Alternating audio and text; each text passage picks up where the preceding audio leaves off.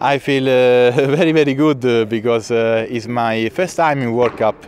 Uh, I shoot uh, last two years, uh, 2014, 2013. A lot of time in final, but always four, five, six, and I it was terrible because I arrived there and never medals. So today, I I was more calm because I had already quota. So for me, it was only for the, the for the for the competition, and I shoot all the the best of myself. So I'm very very happy for uh, the medal, but for uh, my competition, my results on qualification, uh, always. I had uh, 330 and the first round 29.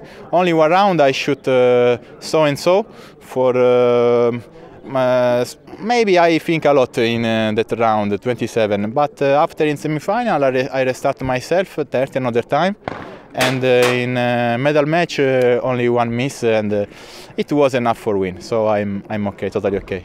Uh, this was my first uh, World Cup this year because uh, Italy need another quota this year and we won uh, in Al Ain. So it was my first chance to qualify to World Final or World, Cup.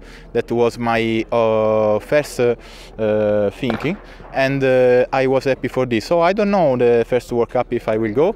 I will prepare for uh, European Games in Baku and uh, I think I will uh, go in the World Championship in Lonato in 2015 this year, but I don't know yet. So I I continue to working uh, day by day for uh, increase my my feeling with my gun, with myself, and uh, I want to tell thank you to my sponsor because uh, without uh, them it's uh, impossible to shoot uh, in this uh, this competition and la- levels. I wanted to thank you to Perazzi. Uh, I shoot with the MX 2005, very amazing shotgun, and with Fiocchi ammunition.